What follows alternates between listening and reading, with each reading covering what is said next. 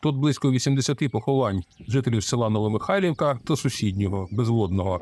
Місцевий староста Микола Бойчук розповів, що кладовище страждало через те, що поруч пасеться худоба, а паркану, що міг би захистити могили, тут ніколи не було. Корови, які випасаються тут усю навкруги кладовища, вони заходили на кладовище, е, руйнували огородки, пам'ятники і так далі. Люди обгаражували там старими е, оградками, ветками і другими матеріалами. Щодо оплати встановлення паркану навколо кладовища, батьки кажуть, син зробив би так само і більше. Олексій Ігнатів пішов на службу до Національної гвардії у листопаді 2019 року, розповідають батьки Валентина та Олексій.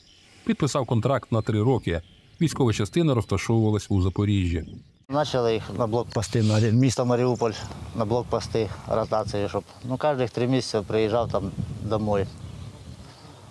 А в 22-му году, щоб не три місяці бути до ну, ротації, а 6 місяців побуде на місці, а потім як би, відпуск більше і більше виходить на літо вихідних вернутися. Ну, в общем, з'їздити на море. В результаті застала війна. На початок 2022 року старший солдат, помічник гранатометника. Точної дати загибелі сина, кажуть батьки, їм не повідомили. Написали приблизно 3 квітня. Поховати змогли лише 23 грудня 2022 року. ДНК сделали. З Києва, в общем, ну ми ж там в пошуках. Можливо, ваш з Києва приходить ну, по телефону, по вайберу.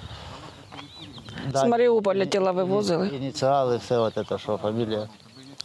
А там був, виходить, дали, що то 2 июня вивоз 200-х з Маріуполя з Азовсталі. Кульове поранення голови, скрізне кульове поранення несумісне з життям. Батьки говорять, роботи зі встановлення огорожі почали 25 квітня. До 5 травня планують завершити. Федір Бондар, Суспільне новини, Миколаївщина.